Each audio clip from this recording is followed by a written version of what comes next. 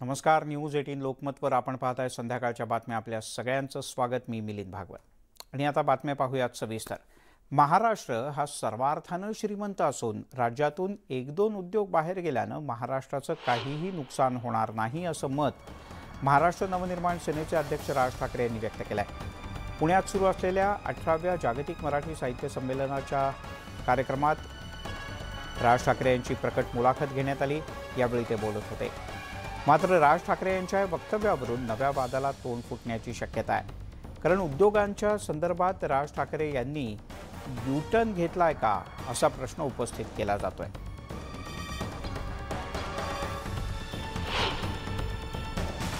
महाराष्ट्र हा श्रीमंत आहे.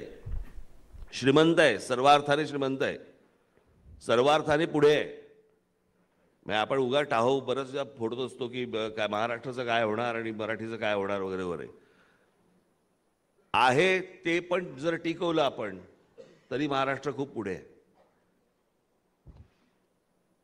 एखाद दोन उद्योगधंदे बाहेर गेले त्यांनी काय महाराष्ट्राचं असं काही नुकसान होणार नाहीये दर्या में खसखस. एक दोन उद्योग बाहेर गेल्यानं महाराष्ट्राचं नुकसान होणार नाही अशा प्रकारचं वक्तव्य मनसेचे अध्यक्ष राज ठाकरे यांनी केलं. राज यांच्या याच वक्तव्याचा विरोधकांनी खरपूस समाचार घेतलाय. राज ठाकरे सुपारी घेऊन बोलतात अशी खरमरीत टीका ठाकरेंच्या पक्षाचे खासदार विनायक राऊत यांनी केली आहे. तर उद्योग बाहेर जात आहेत याचं समर्थन कुणीही करू नये अशा शब्दात विरोधी पक्षनेते अजित पवार यांनीही निशाणा साधला आहे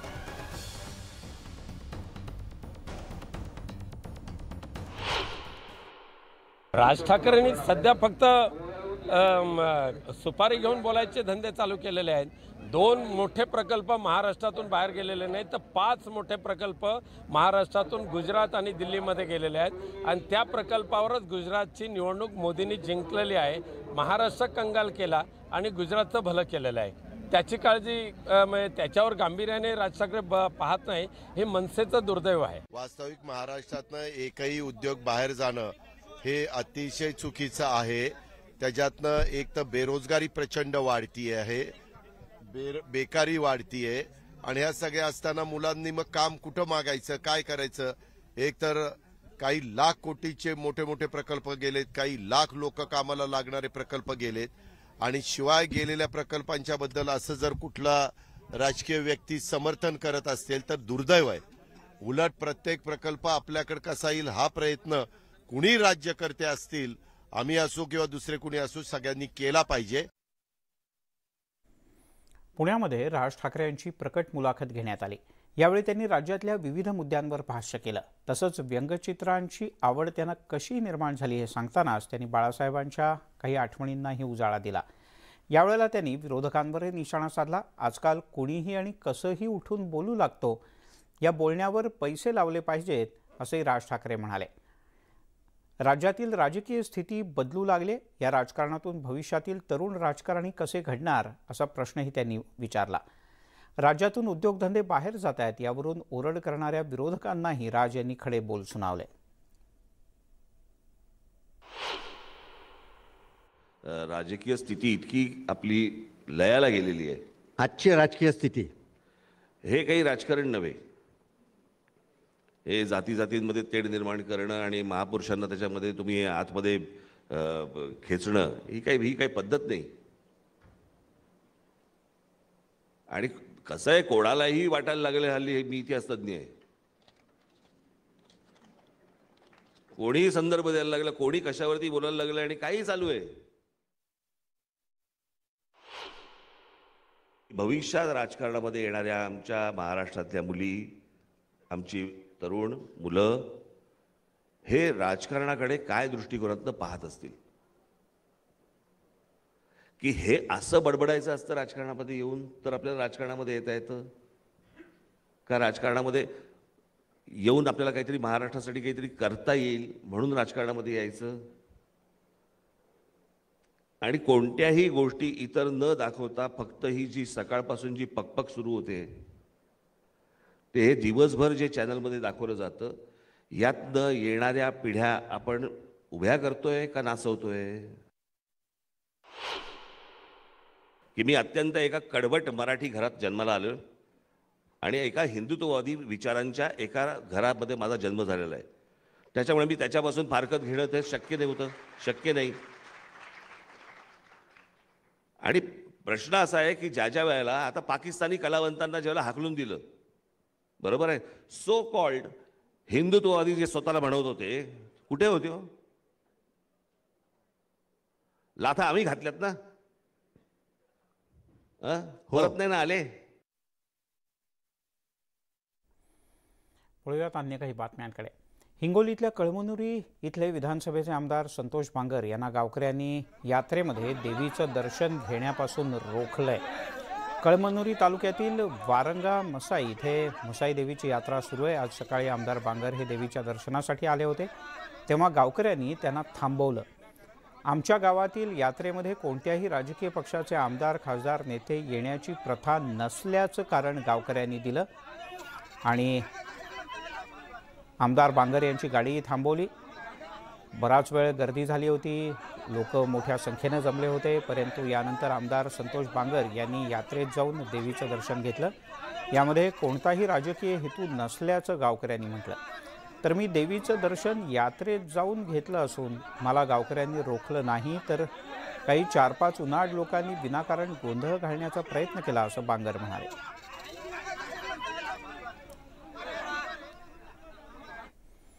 मंत्री चंद्रकांत पाटील आणि विरोधी पक्षनेते अजित पवार यांच्यामध्ये चांगलीच जुंपले. कारण धर्मवीरचा वाद निर्माण झाल्यानंतर अजित पवार कुठे होते असा प्रश्न चंद्रकांत पाटील यांनी उपस्थित केला. पाटील यांच्या टीकेला अजितदादांनी सुद्धा जोरदार प्रत्युत्तर दिलं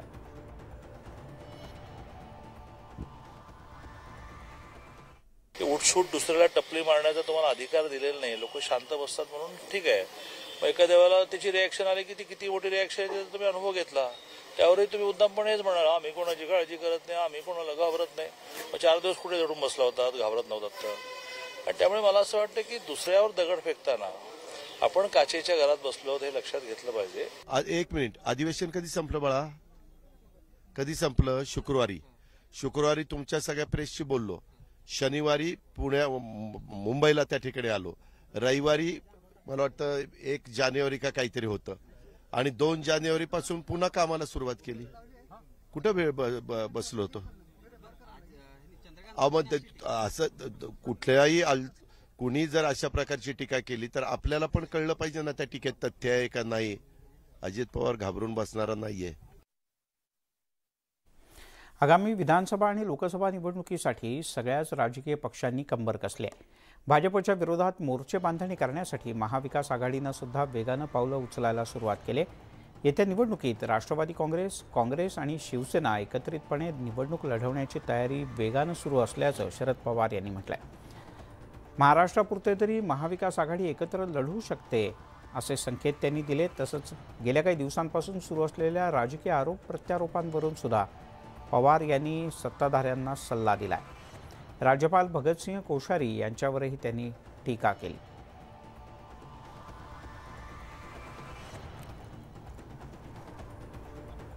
असा प्रयत्न आहे की काँग्रेस पक्ष राष्ट्रवादी काँग्रेस पक्ष आणि उद्धव ठाकरे यांच्या नेतृत्वाखालचा शिवसेना. या सगळ्यांनी एकत्रित त्याच्यामध्ये काँग्रेस टाकावी. आणखी काही राजकीय पक्ष आहेत?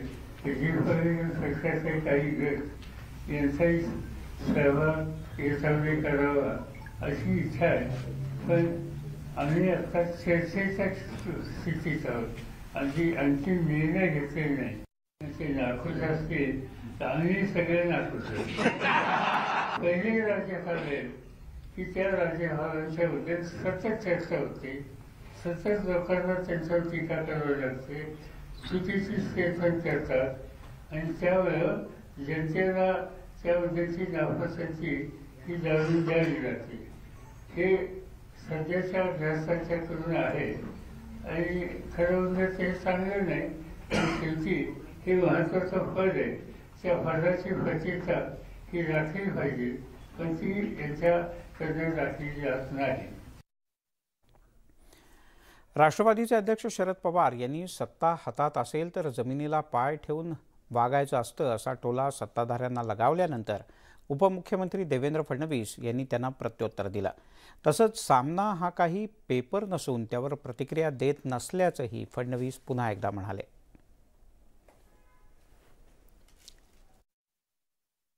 सत्ता हातात असायच्या नंतर जमिनीला पाय ठेवून वागायचं असेल. पण मी अलीकडे वाचतो की सत्ता ज्यांच्या हातात आहे.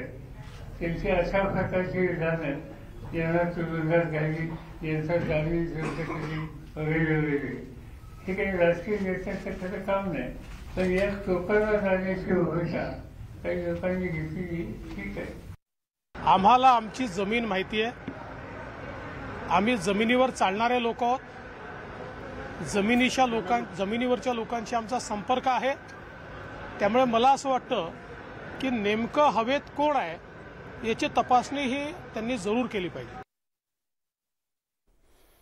तिकडे सरपंच थेट जनतेतून निवडून देणार असाल तर नगराध्यक्ष महापौर मुख्यमंत्री आणि पंतप्रधानांची निवड सुद्धा थेट जनतेतून व्हावी अशी मागणी विरोधी पक्षनेते अजित पवार यांनी केली आहे.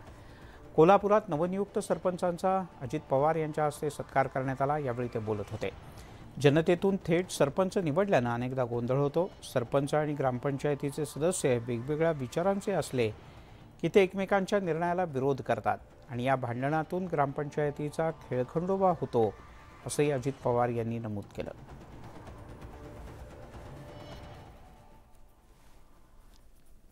आम्ही म्हणलो होतं की हो, डायरेक्ट सरपंच करता. मग डायरेक्ट पंचायत समितीचा सभापती करा. डायरेक्ट नगराध्यक्ष करता. डायरेक्ट महापौर करा. डायरेक्ट जिल्हा परिषदेचा अध्यक्ष जिल्ह्याने निवडू द्या. महाराष्ट्राचा मुख्यमंत्री जिल्ह्या राज्याने निवडू द्या. देशाचा पंतप्रधान देशाने निवडू द्या. तुम्ही ठराविक ठिकाणी लोकांच्या मधनं निवडणार ठराविक ठिकाणी सोयीचं आमदारांच्यातनं निवडणार ठराविक ठिकाणी खासदारांच्या मधनं निवडणार असं कसं चालेल?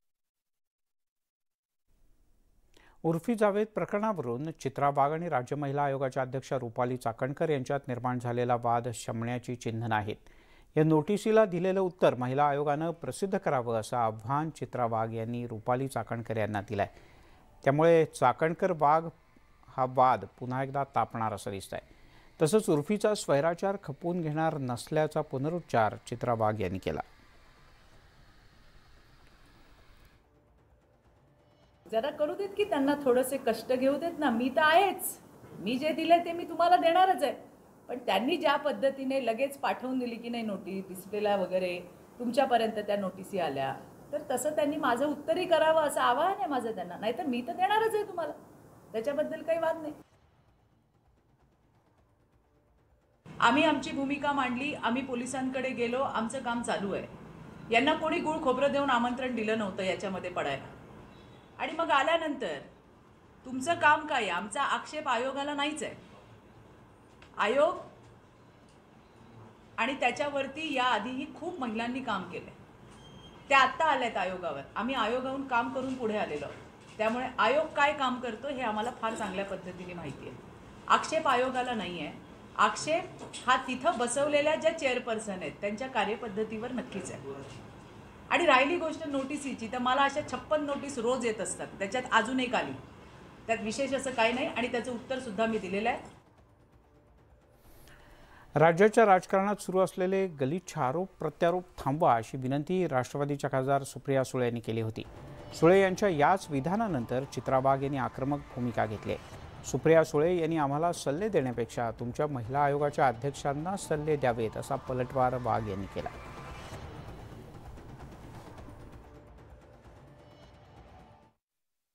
महाराष्ट्र हा पुरोगामी विचाराचा महाराष्ट्र आहे. महिलांना माते समान ज्यांनी सन्मान दिला आणि देशाला दिशा दाखवली अशा सावित्रीबाईंचा हा जिजाऊचा हा महाराष्ट्र आहे.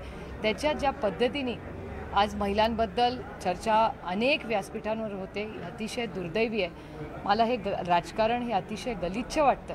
सगळ्याच पक्षाच्या नेत्यांना विनम्रपणे विनंती करते की हे महाराष्ट्राचं संस्कृती नाही आणि हे आपलं राजकारण नाही ते कुठेतरी थांबलं पाहिजे. अरे तर सुप्रिया सुळे मोठ्या नेत्या आहेत. तुमच्या ज्या बसवल्यात तुम्ही त्या बाष्कळ विधानं करतायत त्यांना सांगा की. त्यांची अशी अपेक्षा आहे का की त्यांनी चार प्रश्न आमच्यावरती केल्यावर त्याला उत्तर मिळणार नाही? एक तर त्या सुप्रियाताईंनी लक्षात घेतलं पाहिजे. या ज्या त्यांच्या अध्यक्ष त्यांनी बसवल्या त्यांना काय आम्ही गुळ खोबरं देऊन आमंत्रण दिलं नव्हतं? आणि हे सुप्रियाताईंना मान्य आहे का की मुंबईच्या रस्त्यांवरती चाललेला नंगा नाच हा मान्य आहे का त्यांना? त्यांच्या घरात मुली आहेत आमच्याही घरात मुली आहेत. आणि आमच्या घरातल्याही मुलींना आणि त्यांच्या घरातल्याही मुलींना त्यांना हा आदर्श अपेक्षित आहे का? तर हे कान तुम्ही तुमच्या बाईचे टोचा आमचे नाही. वळूयात अन्य काही बातम्यांकडे. रत्नागिरीमध्ये आमदार आणि मंत्री उदय सामंत आणि खासदार विनायक राऊत पुन्हा एकदा आमने सामने आले. दोन हजार चोवीसमध्ये विधानसभेच्या आधी लोकसभेची निवडणूक लक्षात ठेवा. लांजा नगर पंचायतीमध्ये असा करेक कार्यक्रम केला तसाच लोकसभा निवडणुकीत सुद्धा करू असा इशारा उदय सामंत यांनी विनायक राऊत यांना दिला काहीच दिवसांपूर्वी लांजा नगर पंचायतीच्या नगरसेवकांनी बाळासाहेबांच्या शिवसेनेत प्रवेश केला होता.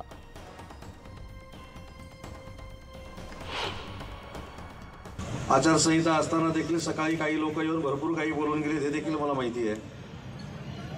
पण त्यांची निवडणूक माझ्या अगोदर आहे हे देखील आपल्या सगळ्यांना माहिती आहे. आम्ही दोघांनी मिळून चार तासामध्ये काय कार्यक्रम केला हे राजूला देखील माहिती आहे मनोहरला देखील माहिती आहे आणि इथल्या नगरसेवकांना देखील माहिती आहे. त्याच्यामुळे चार तासात जर एवढा नगरपंचायतीचा आम्ही दोघं मिळून कार्यक्रम करू शकतो तर मतदारसंघाचा किती दिवसात करू हे देखील आपण सगळ्यांना माहिती लांजा आणि नगरपालिका ह्या ज्या फोडण्याची कामं चालू आहेत ना म्हणजे फार मोठं कर्तृत्व केवळ केवरून दाखवलं असं नाही आहे. उदय सामंतांची पाठ आता ग्रामपंचायतीच्या निवडणुकीला लोकांनी लोळवली आहे खाली. त्याचा आधी हे करा अनुकरण म्हणजे काय नेमकं पर्याय निरीक्षण करायचं आहे परीक्षण करायचं आहे अभ्यास करायचा आहे त्याच्यावर आधी हे करा. तुम्ही ज्या पद्धतीने लांजा आणि लांजा नगरपालिका फोडायचं काम केलं त्याच्यामध्ये किती अर्थकारण झालं हे काय आम्हाला माहिती नाही असं समजू नका. मुख्यमंत्री एकनाथ शिंदे सध्या साताऱ्याच्या दौऱ्यावर आहेत. यावेळेला बोलताना त्यांनी नाव न घेता उद्धव ठाकरे यांना टोला लगावला. मी एका शेतकऱ्याचा मुलगा आहे आणि एक महाराष्ट्र राज्याचा मुख्यमंत्री आहे याचा मला गर्व आहे. सरकारवर विश्वास दाखवून हजारो लोक आमच्या पक्षात प्रवेश घेत आहेत हे देणारं सरकार आहे घेणारं नाही असं मुख्यमंत्री एकनाथ शिंदे म्हणाले. तो भिवंडी ठाण्यामध्ये एका शेतकऱ्याने स्वतः हेलिकॉप्टर विकत घेतलंय. हे एक उदाहरण आहे. का नको?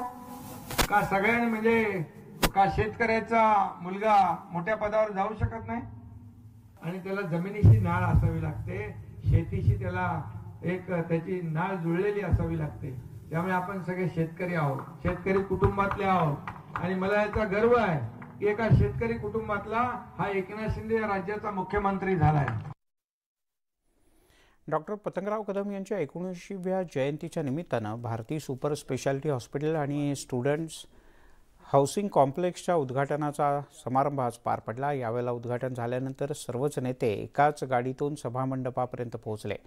शरद पवार आणि देवेंद्र फडणवीस यांनी सुद्धा याच गाडीतून प्रवास केला.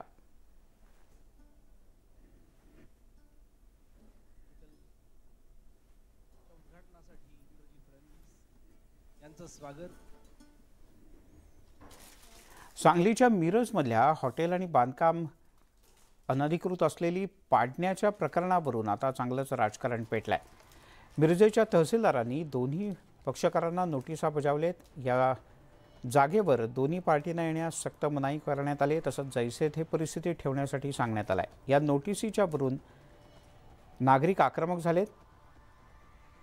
मिळकतदार जागेवर नसल्यानं नोटीस देण्यात आल्याचं पोलिसांनी म्हटलं आहे तर पडळकर यांच्या दबावाखाली प्रशासन एकतर्फी कारवाई करत असल्याचा स्थानिक नागरिकांचा आरोप आहे. रविवारी सुट्टीचा दिवस असताना सुद्धा एकतर्फी नोटीस काढण्यात आल्याचा नागरिकांनी निषेध केला आता घटना घडून किती तास झाले याच्यामध्ये एके पोलीस अधिकारी त्या गुन्हेगाराला शोधायला गेलेला नाही त्या गुन्हेगाराला हुडकून काढत नाहीत. हे फक्त गुन्हेगाराला सोडून चोराला सोडून संन्यासाला पाशी ह्याप्रमाणे ज्यांच्यावर अन्याय झाला आहे जे आता मरा लागलेत जे उघड्यावर पडलेत जे जे बाळ मुलं रस्त्यावर उभा राहिलेत अशांच्याच मागा लागलेत आणि जे आता घरदार दुरुस्त करायला लागलेत व्यवसाय सुधारायचा प्रयत्न करायला लागलेत अशांना सुद्धा हे पोलीस प्रशासन आणि भाजपचे शासन आडकाटा करायला लागले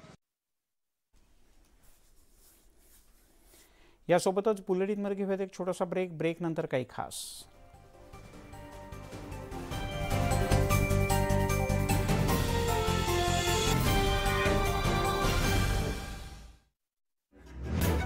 कॉन्ट्रोवर्सी क्वीनचा तमाशा. फुकटातल्या पब्लिसिटीची नशा. आता सगळं झालंय क्लिअर पहा रात्री आठ वाजून चोवीस मिनिटांनी. डर्टी पिक्चर न्यूज एटीन लोकमतवर. घेतलाय उल्हासनगरमधल्या एका जीन्सच्या कारखान्यात चोरी झाली आहे. चोरट्यांनी कारखान्यातील दहा लाखांच्या जीन्सचा कपडा आणि काही जीन्स अँड ट्रक मधून लंपास केलेल्या आहेत. ही घटना सीसीटीव्ही मध्ये कैद झाली आहे. पोलीस सध्या चोरट्यांचा शोध घेत आहेत.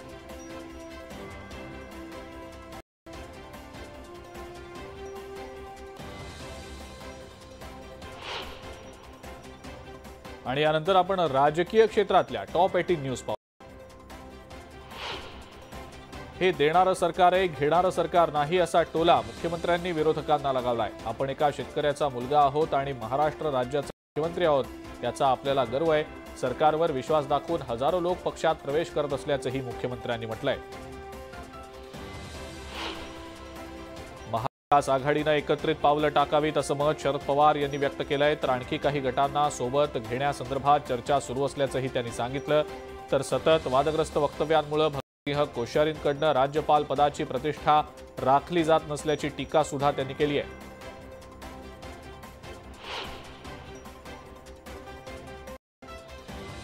मनसे अध्यक्ष राज ठाकरे यांनी टिळक कुटुंबियांची सांत्वनपर भेट घेतली. भाजपच्या आमदार मुक्ता टिळक यांची मागणी सोलापूरमधल्या भाजपच्या कार्यकर्त्यांनी केलेली आहे.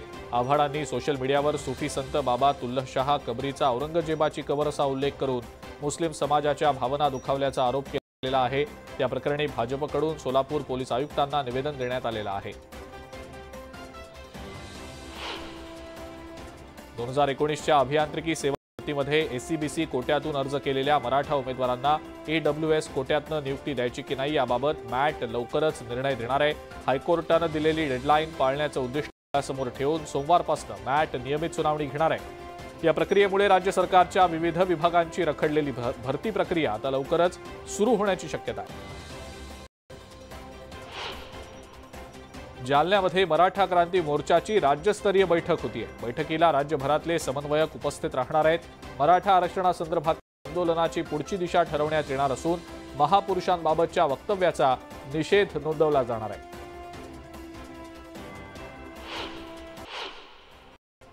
हिंगोलीच्या वसमत औंढा आणि कळमनुरी तालुक्यातल्या अठरा गावांना आज पहाटे भूकंपाचे हादरे जाणवलेत. पहाटे साडेचारच्या दरम्यान भूकंपाचे हे हादरे बसल्याची माहिती शासनानं दिलेली आहे.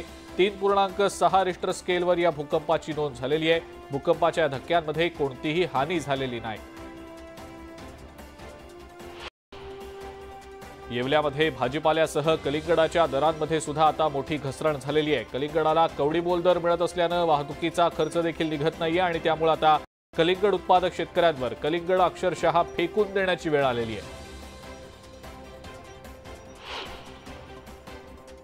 उस्मानाबादमधल्या कळंब बाजार सचिवांना गोळ्या झाडण्याची धमकी देण्यात आल्याचा धक्कादायक प्रकार समोर आलाय. उस्मानाबाद कळंब बाजार समिती सचिवांनी अतिक्रमण हटाव मोहीम हाती घेतल्यामुळे अतिक्रमण करणाऱ्यांनी दत्तात्रय यांना गोळ्या घालून ठार करण्याची धमकी दिली आहे व्यापाऱ्यांनी या धमकीच्या निषेधार्थ बंद पुकारलाय. विदर्भाला कुहुडी भरली असून गोंदियात गेल्या नऊ वर्षातल्या सगळ्यात निचांकी तापमानाची नोंद झालेली आहे. गोंदियात शनिवारी सात अंश सेल्सिअस तापमानाची नोंद झाली आहे.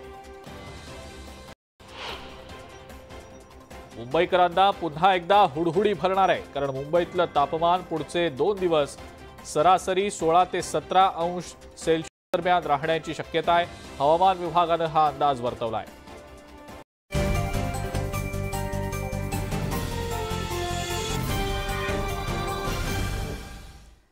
पुण्यामध्ये अशोक पर्व या कार्यक्रमात ज्येष्ठ चित्रपट अभिनेते अशोक सराफ यांची प्रशांत दामले मुलाखत घेतात. थेट जाऊयात.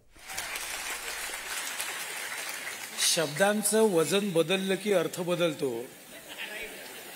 हेच शिकायचं असतं या लोकांकडून. आणि हे शिकायचा मी प्रयत्न करतो. आणि ती खरी आपल्या तर मराठी मराठी भाषेची तीच तर खरी मजा आहे. आता पण जरा मामा आपण जरा धूमधडाक्याकडे येऊया.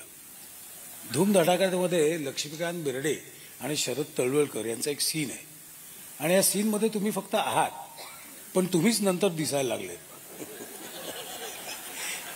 हा म्हणजे दोघे तिथे मस्त सीन चालले आणि हे मागून असं काहीतरी तुम्ही आवाज काढत होते. तर काय होतं ते? मग त्यांनी काय केलं? त्यांनी काय करायचं मग? त्याने मी काय मी हे असले आवाज करायचं हो म्हणायचं आणि काय म्हणायचं? काय झालं? धूमधडाकामध्ये तो जो एक सीन आहे अर्थात तो सगळ्यात फेमस सीन आहे. कारण धूमधडाका हे प्यार किए जे या पिक्चरवरून चा रिमेक आहे. आणि त्यामध्ये एक सीन आहे जो अत्यंत पॉप्युलर सीन होता आणि सगळीकडे तो धूम हे झाली त्या पाहिजे आणि तो म्हणजे स्टोरी टेलिंगचा जो म्हणजे मेहमूद ओमप्रकाशना गोष्ट सांगतो भयानक सिनेमाची. असा तो सॉलिड वे होता एकदम. तर तो नेहमी तो हिट व्हायचा आणि नेहमी तो अगदी संबंध थिएटर उडवून टाकायचा असा सीन तो. त्यावेळेला फेमस होता तो. तर ह्याच्यात पण तसाच सीन होता तोच त्यात आपले लक्ष्मीकांत बेर्डे हे शरद तळवलकरांना हा सीन सांगतात. ते वडील त्याचे आणि तो मुलगा. तर सहज कॉम्बिनेशन वर असलास ना. हा, तर तर तर तो सीन सुरू झाला पण काय झालं? त्या त्या सीनमध्ये जे आवाज होते जे ते काही मेमूदने काढले होते आवाज. म्हणजे सरकमस्टन्सचे भयानता वाढवणारे जे सीन्स होते हा, हे सगळे.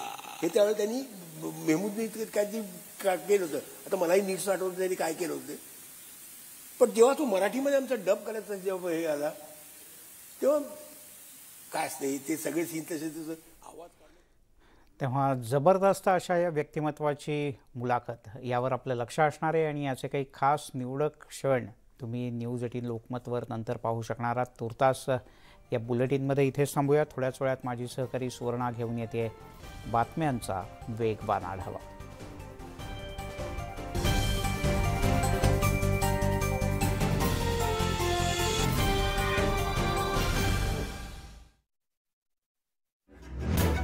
कॉन्ट्रोवर्सी क्वीनचा तमाशा. फुकटातल्या पब्लिसिटीची नशा. आता सगळं झालंय क्लिअर पहा रात्री आठ वाजून चोवीस मिनिटांनी. Dirty picture news eighteen लोकमतवर.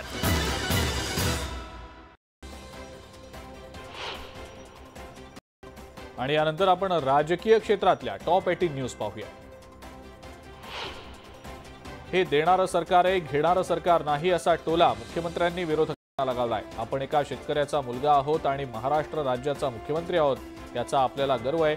सरकारवर विश्वास दाखवून हजारो लोक पक्षात प्रवेश करत असल्याचंही मुख्यमंत्र्यांनी म्हटलंय. महाविकास आघाडीनं एकत्रित पावलं टाकावीत असं मत शरद पवार यांनी व्यक्त केलंय. तर आणखी काही गटांना सोबत घेण्यासंदर्भात चर्चा सुरू असल्याचंही त्यांनी सांगितलं. तर सतत वादग्रस्त वक्तव्यांमुळे भगतसिंह कोश्यारींकडनं राज्यपाल पदाची प्रतिष्ठा राखली जात नसल्याची टीका सुद्धा त्यांनी केली आहे.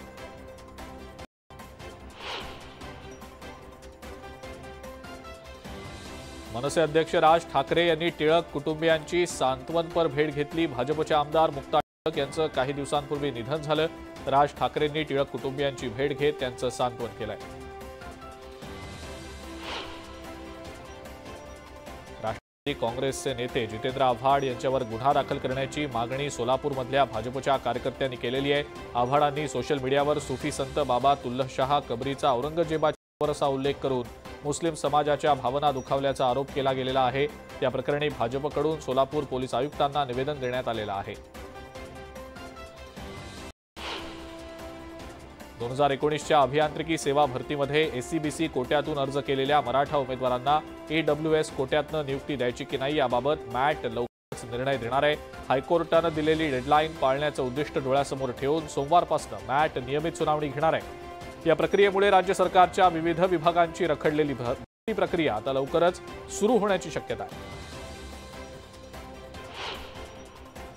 जालन्यामध्ये मराठा क्रांती मोर्चाची राज्यस्तरीय बैठक होतीये. बैठकीला शहरातले समन्वयक उपस्थित राहणार आहेत. मराठा आरक्षणासंदर्भातल्या आंदोलनाची पुढची दिशा ठरवण्यात येणार असून महापुरुषांबाबतच्या वक्तव्याचा निषेध नोंदवला जाणार आहे.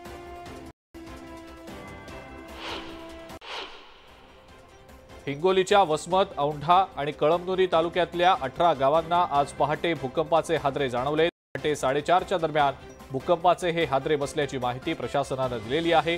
तीन पूर्णांक सहा रिस्टर स्केलवर या भूकंपाची नोंद झालेली आहे. भूकंपाच्या धक्क्यांमध्ये कोणतीही हानी झालेली नाही. येवल्यामध्ये भाजीपाल्यासह कलिंगडाच्या दरांमध्ये सुद्धा आता मोठी घसरण झालेली आहे. कलिंगडाला कवडी मिळत असल्यानं वाहतुकीचा खर्च देखील निघत नाहीये आणि त्यामुळे आता कलिंगड उत्पादक शेतकऱ्यांवर कलिंगड अक्षरशः फेकून देण्याची वेळ आलेली आहे. उस्मानाबादमधल्या कळंब बाजार समिती सचिवांना गोळ्या झाडण्याची धमकी देण्यात आल्याचा धक्कादायक प्रकार समोर आलाय. उस्मानाबाद कळंब बाजार समिती सचिवांनी अतिक्रमण टाव मोहीम हाती घेतल्यामुळं अतिक्रमण करणाऱ्यांनी दत्तात्रय वाघ यांना गोळ्या घालून ठार करण्याची धमकी दिली आहे व्यापाऱ्यांनी या धमकीच्या निषेधार्थ बंद पुकारलाय.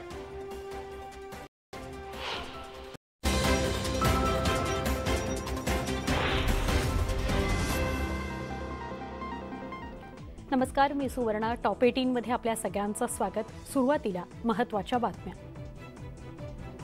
महत्त्वाच्या बातम्या. प्रायोजक अमृत नोनी माझ्या उत्तम आरोग्याचं रहस्य अमृत नोनी पॉवर प्लस धर्मवीरच्या वादानंतर अजित पवार कुठे होते? चंद्रकांत पाटलांचा अजित पवारांना सवाल. तर मी कुणाला घाबरणारा नाही? अजित पवारांचं प्रत्युत्तर. उद्योग बाहेरच्या राज्यात जाण्यावरून राज ठाकरेंनी केलेल्या वक्तव्याचा अजित पवार आणि विनायक राऊतांकडून समाचार. राज ठाकरे सुपारी घेऊन वक्तव्य करत असल्याची विनायक राऊतांची टीका.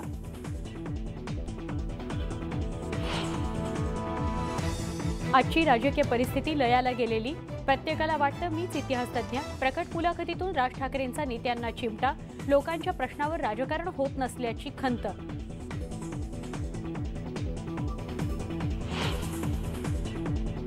पुण्यातील महाराष्ट्र केसरी स्पर्धा अनधिकृत असल्याचा शरद पवार गटाचा दावा कुस्तीगीर परिषदेच्या नियम आणि अटी मान्य न केल्याचा आरोप.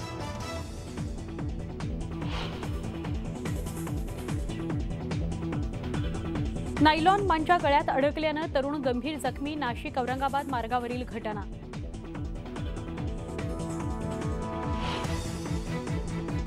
कोल्हापूरच्या अंबाबाई मंदिरात भाविक सिक्युरिटी गार्डमध्ये वादावादी मंदिरात व्हीआयपी दर्शन देण्यावरून काही भाविकांचा आक्षेप.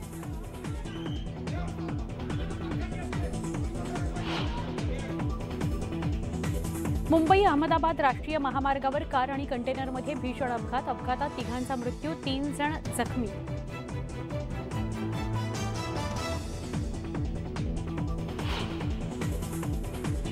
टॉप एटीन बातम्यांकडे वळण्याआधी एक महत्वाची बातमी आहे. ही बातमी पुरंदरमधून आहे. पुरंदरमध्ये काकाने पुतण्यावर जीवघेणा हल्ला केलेला आहे.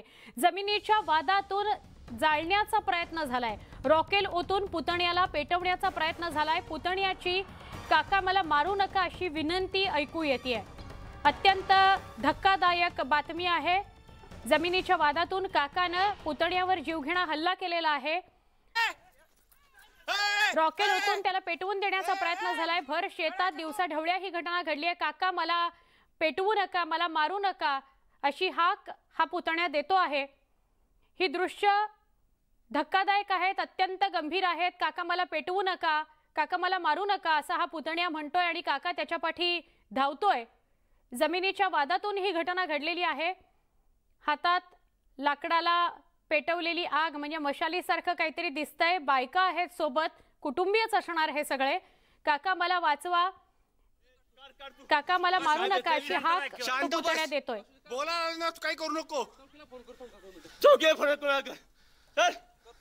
मी म्हणलं होतं आधी येईल निवडून येऊ आपण ए दे किती? बसा की भाऊ. भाऊ.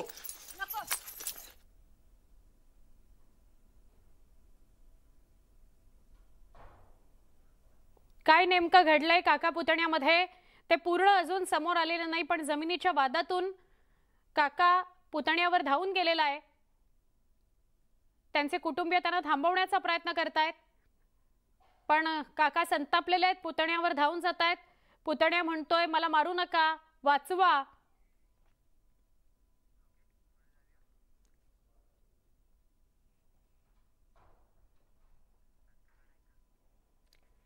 पाहणार आहोत राजकीय क्षेत्रातल्या टॉप एटीन बातम्या.